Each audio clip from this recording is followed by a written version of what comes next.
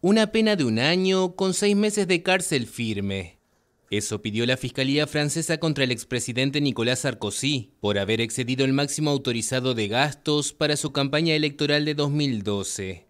Según los fiscales a cargo del caso, el exmandatario manejó con total dejadez las finanzas de la campaña, que duplicó el límite legal. Además de la pena de cárcel, solicitan una multa de unos 4.500 dólares.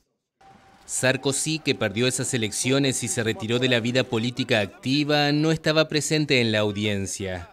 El juicio se abrió el pasado 20 de mayo y tiene otros 13 encausados. Los responsables que dirigieron la campaña electoral afrontan penas de 18 meses a 4 años de cárcel.